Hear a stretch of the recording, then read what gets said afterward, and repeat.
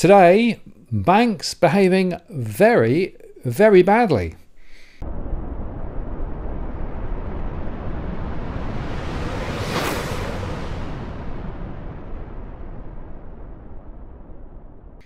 Hello again, it's Martin North from Digital Finance Analytics, where I've noticed posts covering finance and property news. And I'm joined by Robert Barwick from the Citizens Party. Hi, Robbie, how you doing? Good, Martin. How are you? Yeah, I'm uh, pretty good. Uh, getting the studio sort of sorted out now. Um, it's still a long way to go, but uh, uh, I have lots of cables around my neck still trying to get sorted out. But um, it's definitely getting very much focused now on the, some of the main issues. And look, bad, bad banks and banks behaving badly is a critical issue. It's interesting. It's, it's the same issue here in, in the UK as well. So we're seeing uh, the moneyed power, you know, influencing behind the scenes as well as um, you know through the front door there in, in the back door too. But the bottom line is that real households and real businesses are being taken to the cleaners. Uh, absolutely, and the bank we're going to talk about, we're going to single one particular bank out today here in Australia, which is um, National Australia Bank. Uh, actually, I should, as an aside, Martin, in the latest latest round of Senate estimates, the the uh, new head of Australia Post, who is actually um, an Englishman too, he referred to it as NatWest, but it's not NatWest. It's it's our own National Australia Bank, and it is behaving very very badly that's why we we wanted to, to do this show because it's getting right now it's getting out of control um, and, and, what they're doing is uh, destroying smashing severely disrupting the productivity of towns all around australia by aggressively um, being on this branch closure spree in total defiance of the current senate inquiry that's underway NAB was the one bank that refused to um, accommodate the senator's request. They politely requested all the banks to pause their branch closure plans until this issue could be properly looked at, especially the impact it is having. Right? It's one thing for for the banks to say, "Oh yeah, this is this is um oh you know we're just following our customers here." They they want to go digital, so we're following them because they don't want to use the branch anymore. So that that proposition needed to be tested, and that's what the inquiry was about. Um, but extraordinarily, uh, while the other banks found a way to accommodate that request to varying degrees, NAB just said, no way, no how. And we can see why now. It is just shocking what's happening um, out there uh, and the scale of the closures that have they've they're just everywhere you turn there's another bank branch um, closing down and they're not stopping they're just they're just going for it as hard as they can um, and probably, you know why? Because um, the, the, most likely reason that they're doing this so hard and, and um, uh, in this unchecked fashion is because they're trying to get ahead of whatever this Senate inquiry recommends in December when it produces its report. Right, so they're they're they're behaving like their attitude will be, well, um, do your do your worst. We've shut all the branches that we wanted to shut. Yes. And the litany of branch closes, and you know, Dale Webster's been uh, highlighting these over the last few months. It just, you know, it continues and continues. It's interesting, of course, not all banks are going down the same path in terms of the aggressive closing. But I have to say that I think NAB is basically, you know, putting a finger in the air and saying, you know, we don't care. We don't care at all. We don't care about um, businesses. We don't care about local communities. All we care about is uh, just getting rid of branch real estate, uh, bolstering our profits as a result of that, etc., etc. Um, it really does question, to my mind, the cultural norms that are actually driving this behaviour, and, and you know, it, it is not in the interests of Australian, um, you know, the economy, Australian businesses, and Australian households. Uh, it, it is another agenda. It is another agenda. So last week, Finder.com came out with a survey that showed 70% of Australians want bank branches. Now, that flies in the face of what the banks and the Australian Banking Association have been claiming. They've been claiming that we are like um, Pollyanna uh, dancing gaily into this digital future and happily leaving behind all the trappings of the past because everything's digital and it's all cool and it's all it's all uh, convenient and it's all efficient etc and that's all we care about. Yet this survey showed 70% which is a landslide by anyone's measure want bank branches. Hello what gives?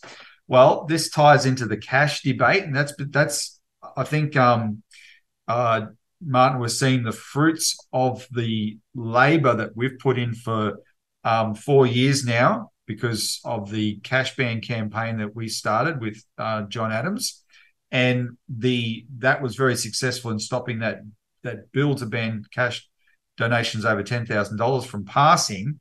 But it also put cash on the agenda, and that's continued to become a bigger and bigger issue. Um, and now, everyone who complains about banks taking away cash and taking away ATMs and not not not not paying out cash, etc they get a lot of publicity. The branch closures get a lot of publicity. The media actually is paying is starting to pay close attention to this because they feel the anger that's growing out there in the community. Now, I want to quote um, an article that was in the um, uh, the Australian newspaper this morning, actually, because ANZ has really pushed ahead with these um, cashless branches. And as we've discussed before, if they're cashless, they're not branches. That's the, under the definition of branches in Australian law. If they're cashless, they're not branches. But of course, APRA, the, the bank regulator, which is supposed to enforce that law, hasn't been enforcing the law. Dale Webster exposed that last year. So what's APRA doing? It's consulting with the with the banks now to change the definition. Right? Never, ever, ever expect a bank to follow the law. Oh my God, what a radical idea. So no, the banks push ahead with what they're doing, and the regulator comes in. Okay, we're going. If, if you're not following the definition, we're going to change it. ANZ is probably the most. Um, so that all the banks have slightly different characteristics, as you know. In this regard, ANZ is the most intent on digital at all costs, essentially. Right? They they're the ones that are spruiking it. So they've they've come up with these branches where you cannot get cash out, and some some poor young mother tried to get three thousand dollars out of um, an ANZ branch, um, and she didn't have her card on her, and so she thought, "Well, I've got my ID. It's my bank. I'll go in there and get the cash over the counter." And she wasn't told they can't do it. She was told they don't do it. You can't get cash from those banks anymore. So this is this helped get attention to this. So there's a very interesting article today in the Australian by James Kirby, who's the wealth editor of the Australian. Citibank branches closing over-the-counter cash services much too soon. That's the headline. But when you read the article, that's just the editor must have changed it to much too soon. Because oh, I just want to read you some stuff, some parts, excerpts. The slide in cash usage across Australia has been well reported.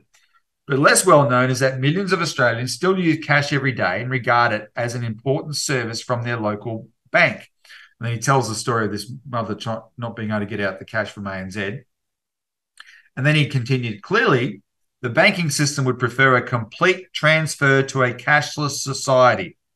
There would be more opportunities for fee coverage. There would be endless opportunity for surveillance of behavior. And presumably, it would be much harder for criminals to transact. Now, he wrote that. I take exception to that.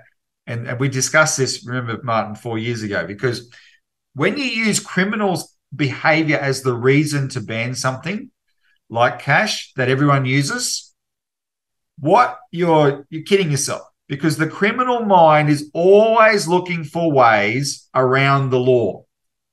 They don't follow the law, they're looking for ways around the law, right? And they will find a way. To, to use that as an excuse is is totally fraudulent. Anyway, let me keep that's uh, that's my one disagreement with this article, but let me keep reading. In their defense, Banks quote a statistic that cash now represents just 13% of in person payments.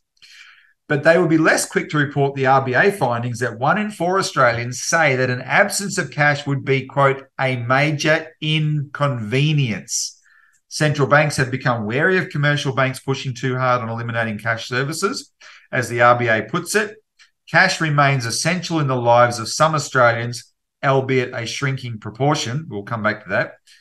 Um, and then he quotes the Reserve Bank of New Zealand, which is something that you covered at the time.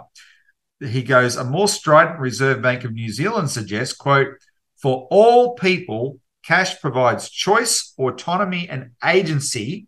And for some, it is the only form of money that they can use.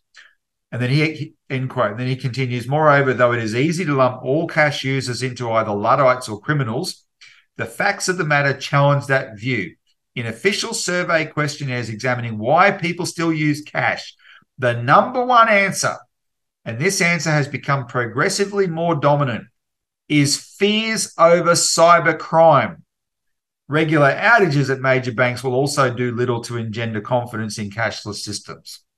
And that's a very, and then it's much longer than what I've just read, but that's a very decent um, treatment of this issue. But let me come back to the to to the thing I wanted to take um, exception with. Um, oh well, not exception, but he he talks about just cash now represents just thirteen percent of in person payments. Um, now they've qualified with that in with it, with that as in person. But let me let me give you this. Um, okay, I noticed the other week that the Australian Banking Association loves throwing around statistics of transactions, of types of transactions by type, but as percentages of all transactions. They don't like using absolute figures. It's always percentages. And um, I got suspicious because um, uh, they use this for, for checks and the Jim Chalmers. They, there was a there was a, a, an event where the treasurer Jim Chalmers spoke and announced they're going to phase out checks in Australia um, by 2030, and he said check use has plummeted. Well, and the, the ABA had the statistics there that said um, checks were 1% of transactions in 2007, but now they're 0.2% of transactions. And that sounds like a pretty significant drop. Um, and they do the same with all with um with all their kind of statistics, right? But anyway, so I wanted you to see this because I had seen this before. The ABA's own website has data. And what I'm highlighting here in this graph is, and take since 2007, that's the one they use for checks that there's two types of transactions there debit and credit using your credit card or using some form of debit card or or um or just straight up payment what you're seeing there is an explosion an absolute explosion in transactions in australia since 2007 so 30 million transactions a month in 2007 this figure here with these two added together is 1.2 billion transactions a month. And a lot of that's got to do with the ease of transacting. Young people using their their phones, tapping it, phones and cards, but especially phones now, just tap, tap, tap, tap, tap. Remember that the ads even used to can encourage it, right? So there's just been a a flood of more types of transactions because there's an absolute ease of doing it. And then when you look at the app, when you when then you then you look at those percentages, that they say is a decline. It actually isn't a decline, right? So um, I don't know how many of these total transactions, 1.2 billion total transactions, are in person, but 13% is actually a lot more transactions than people think. A hell of a lot more transactions.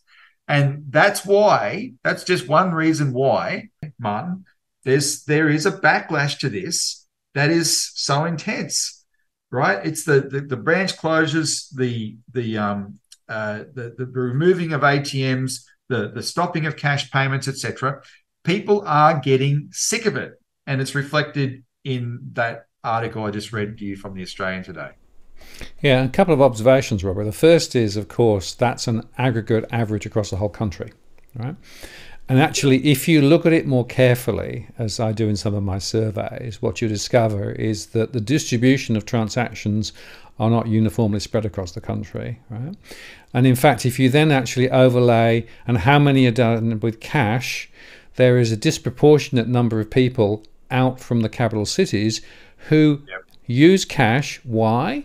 Because it's the digital services are inefficient or non-existent uh, beyond the main areas of the country in terms of population. So total population uh, is growing, total transaction throughput is growing, but disproportionately, the number of people in regional areas who actually are transacting and need to use cash continues to rise, which flies yes. absolutely in the face of all of the, mm, I was going to say BS, from the Bankers Association, who basically say it's a revolution, everyone's going digital. No, no, no, no, no, no, right? Firstly, as the surveys say, a lot of people still value the use of cash and need to use cash. But secondly, away from you know the main centres, you got no choice because the only option is cash. And so, as they turn the screws down on cash, what they're actually doing is they're strangling communities, they're strangling businesses. And essentially, what they're doing is biasing their strategy more and more towards uh, a proportion of the people who live in the big urban centres who are already enjoy, enjoying 5G and everything else, right? But interestingly, I've just done some further work on this. Even in those 5G areas, in the even in those areas where there is still high digital penetration and capability, there's still a lot of people using cash, wanting to use yep. cash, needing to use cash, and guess what?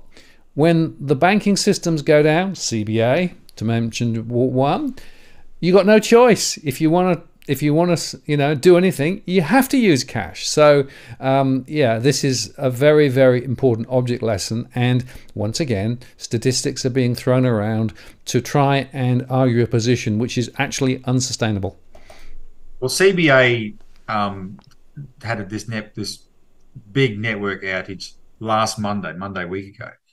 And it's Australia's biggest bank, and it was severely disruptive. This network outage, um, and what what did the people have to? I mean, see, they were calling up CBA and they were getting told over the phone. Some people were getting told if they needed money, I'll oh, go borrow it from somebody. Now, think about this: they're a customer of Australia's biggest bank. They need they, they the bank's online systems are down. They call the bank for help, and the bank says, "Go borrow from someone else." hello, what is your business, CBA? And uh, that's, you know, like they meant a family member or whatever. Um, they, people flocked to the branches to get the cash they needed. They were greeted with signs on the door warning them that there would be queues and also warning them they could get a maximum of $300 each out. Now, isn't that a need for bank branches? Doesn't that show, doesn't that illustrate the actual system here? Yeah. Have fun with the technology. If the technology is convenient to us, we will adopt it. That's not going to be an issue. But you don't take away the backstops. You don't take away the the safety nets, the problem, the the areas that that need to be there for problem solving, especially with the vulnerabilities of this tech, digital technology. It is a vulnerable technology, right? Um, it's perfect when it works. When it breaks down, the consequences are dire. And that's why you don't take those away. But the banks in their bastardy are forcing, pushing to take those away. So let's go back to, to NAB. When, a, when NAB closes a branch, they send this document to the branch and to the customers explaining why they're closing the branch. And I'm going to give you four here. But Martin, you and I talked about this last year because they started doing this last year. And we made an issue of the fact that those fact sheets showed that NAB was saying 90% of the customers of the branch are registered to bank online, but the fact sheets also showed only about a quarter of those were active users, right? And it was clear the consistency of those fact sheets that 90% was their target. They'd set a quota of pressuring their staff to sign up customers to online banking, regardless of whether they want it or not. And the staff have testified to that effect at the these banking hearings. So that was the that's what the bank's been doing when they reach that 90% target. Doesn't matter how many of them are act, actively using online banking, pull the plug, close the branch. Well, the fact sheets I'm about to show you indicate to us that they have accelerated that this is they have genuinely accelerated this process which is why dale webster questioned and i'm questioning Are, are, they is NAB accelerating to try and get this these closures done ahead of the the banking inquiry handing down its report um, at the end of the year? So this is this is Kilmore. Kilmore, um, uh, the Kilmore branch of NAB closed today, and have a look. Only sixty-seven percent of this branch are registered for online. Of those, they claim a much higher percentage using it, 87%. But you're talking about a little bit over 50% of the customers of this branch bank online, just a little bit over 50%. And that's pretty consistent with the other ones. I'm going to give you four. So that's that's that's Kilmore. By the way, Kilmore closed today, Martin. The day it closed, NAB also announced they're going to close Kyneton, which is 40 minutes away from Kilmore. And so all the Kil, all the NAB customers in Kilmore who've been waiting for the branch to close for the last few months would have been thinking, well, when it closes, I'm going to go to Kyneton. Now NAB has cl- announced they're going to shut Kyneton, right? What the bottom line is, they don't want people to go to another branch. They want them to stop going to branches. They're happy for them to go to Australia Post. We'll come back to that. They prefer them not to go into a branch at all. That's that's NAB's wish here. So the hell, I just want to show you the consistency of this. So 67, 80, 87 there. Tatura, 65% um, registered for online banking, 84% actively use them. And you've got to question the definitions the banks use for words like active. But anyway, we'll stick with that. The Temora branch. Oh, by the way, Tatura, Tatura is the, I think it's the home of the Murray Goulburn Dairy Company, Martin, um, which is a big dairy company in Australia. This is its last bank that it's shutting. This is this is there's five five thousand people in this town. It's the large last bank. It's the center of the dairy industry, and NAB says they don't need to service that anymore, even though they have they brag about how much money they make out of um, agricultural industry in Australia. That's Tatura. Temora um, in New South Wales, 65% registered, 86% of using them. So it's still roughly just a little bit over 50% actively use online banking. Doesn't matter. We'll pull the plug. And the same here for um, Gundagai. And there's a there's a bunch of others. The list is too long of um, of the ones that they've been closing just in the last couple of weeks. Um, and this is part of that subset of 65. Uh, this is a subset of that 65 branches that we named a few months ago as on the chopping block because the first sign that NAB is going to close a branch is it reduces hours. So they they reduced the hours of 65 branches a few months ago and now they're move, they're mowing them all down as exactly as as um uh we predicted, right? But then here's the worst part. I want to show you. I want to show you these. We'll just use this this bank's figures, the Gundagai branch's figures. Um, uh, for this one, I might enlarge that a bit actually, make it easier for the viewers to see. Branch visitations over the last year. Now, Martin, note how they give a range. They don't just give you the absolute figure, they give you a range.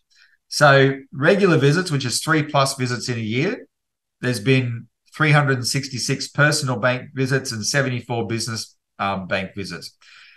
Now that's three. That's anywhere from three to eleven because heavy is twelve plus. So that range is three to eleven.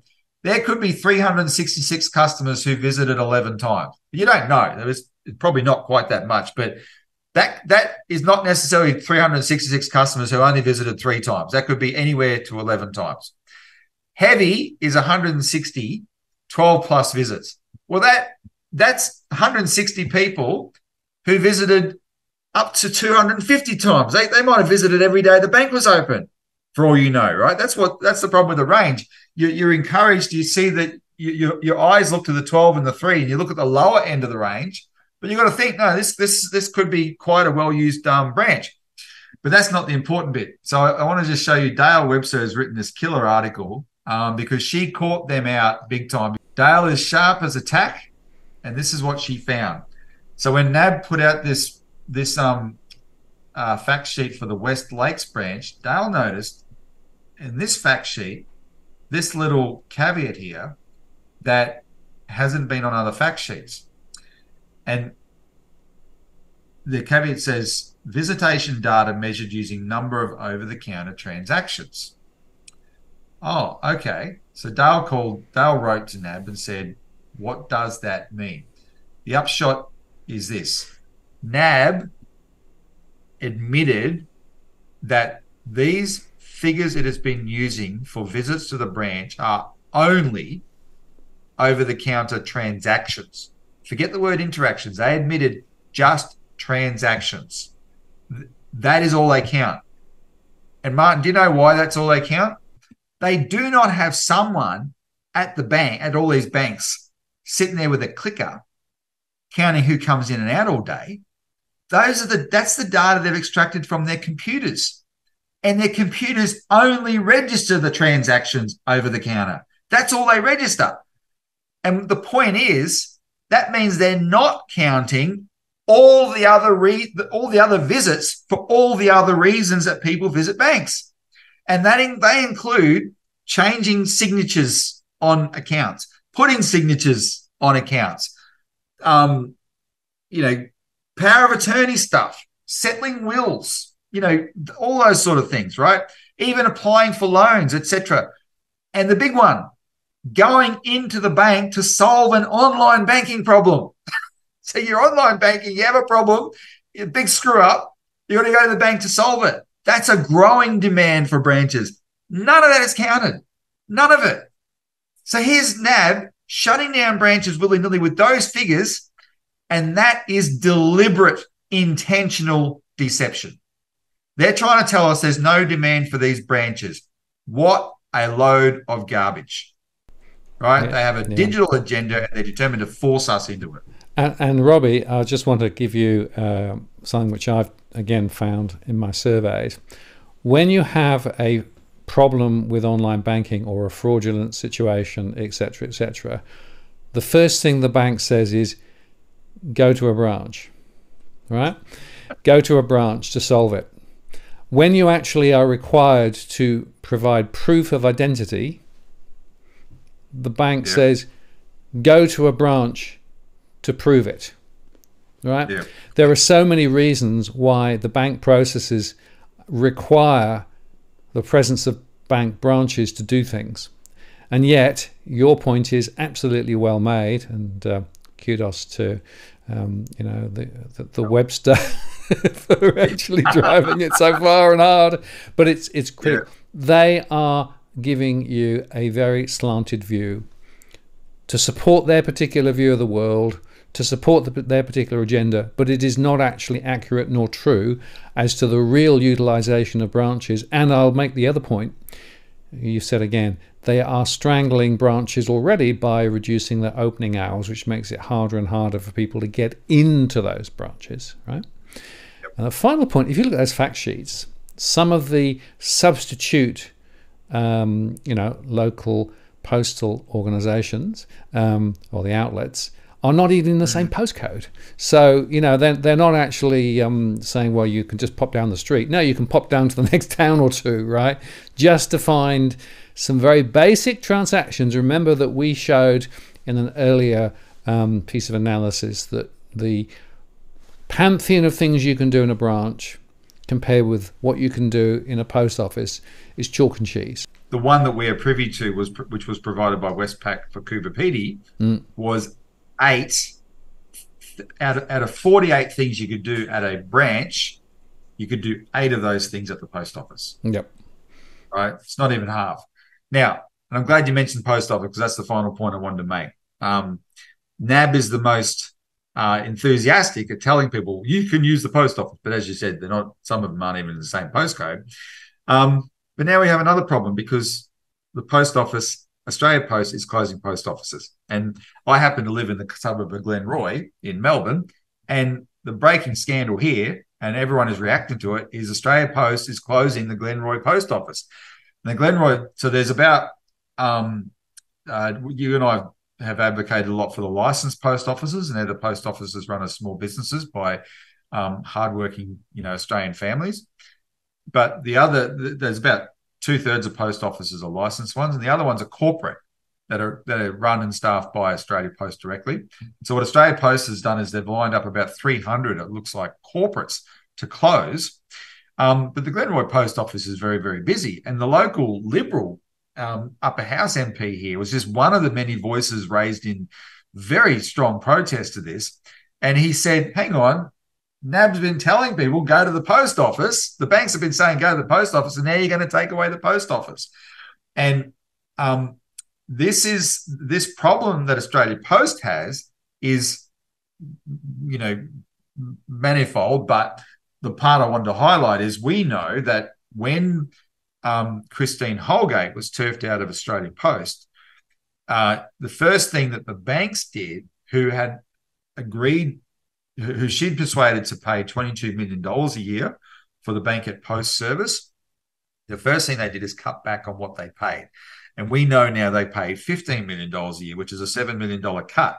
But that's not that's that's bigger than you think because Christine Holgate said we need $22 million to cover all the infrastructure that's required to, that's required to do banking properly.